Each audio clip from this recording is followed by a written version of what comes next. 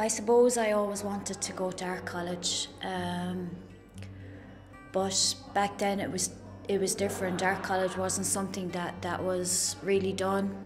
Um, I had turned 19 and I got pregnant.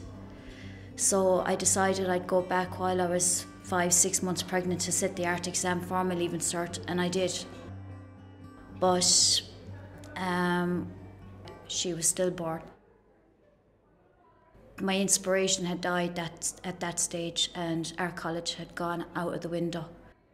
I went and got married then, and I had three more amazing children. And I used to mind them during the day, and I used work at nights. The time came, and I wanted to go back to art college. I wanted to consider doing art again.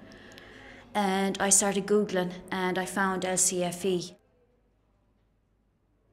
My experience in LCFE, um, we I did the morning classes, and we did drawing, painting, ceramics but the module that I, I loved was photography and that introduced me to the dark room and film photography and I fell in love with the dark room here and that was something that that still that still is the basis of my practice today.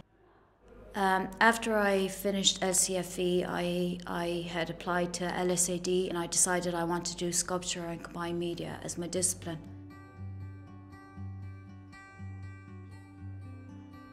in 2013, our probably our first major exhibition was um, in um, Treaty Caps. We we got we, got the, the, a loan of their building. We turned that into um, an exhibition site, and there was this horrible, musty, disgusting stairs full of cobwebs. And I stood on the first step of the stairs, and I said, "This is it." And what I did was I had recorded all the sounds of renovation going on and turned that into a sound piece and I put a speaker under the stairs, and as people then came in to view it, they could feel the vibrations on their legs as they went up and down the stairs.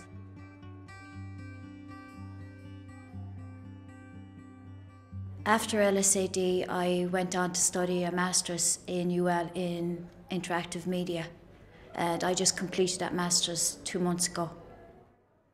It is the elements of photography and film that have grounded my practice and it was it was in LCFE that that that was first born. Exhibitions become a real part of your life once you become an artist. You're interested not only getting yourself into an exhibition, but you're interested in seeing what other artists are doing and what they have to say with their work. I feel that LCFE gave me my chance to, to realise my dream.